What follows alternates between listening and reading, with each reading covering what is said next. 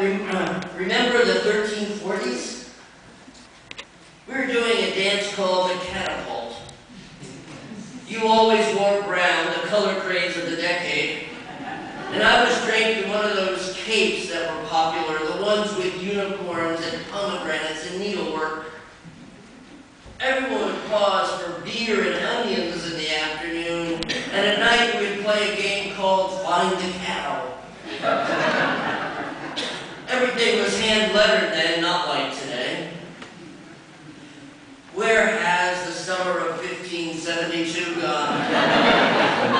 Brocade and sonnet marathons were the rage.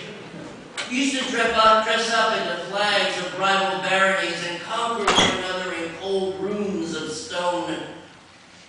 Out on the dance floor, we were all doing the struggle, while your sister practiced the staff all alone in her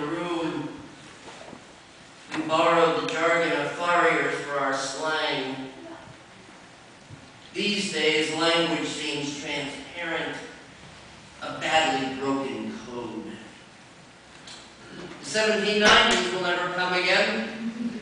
Childhood was big. People would take walks to the very tops of hills and write down what they saw in their journals without speaking. Our collars were high and our hats were extremely soft. We would surprise other with alphabets made of twigs. It was a wonderful time to be alive, or even dead. I'm very fond of the period between 1815 and 1821. Europe trembled while we sat for our portraits. And I would love to return to 1901 if only for a minute, a, a moment, time enough to wind up a music box and do a few dance steps. Or shoot me back to 1922 or 1941, at least let me capture the serenity of last month. When we picked berries and glided through the afternoon in a canoe. Even this morning would be an improvement over the present. I was in the garden then, surrounded by the hum of bees and the Latin names of flowers, watching the early light flash off slanted windows of greenhouse and silver the limbs on the row of dark hemlocks.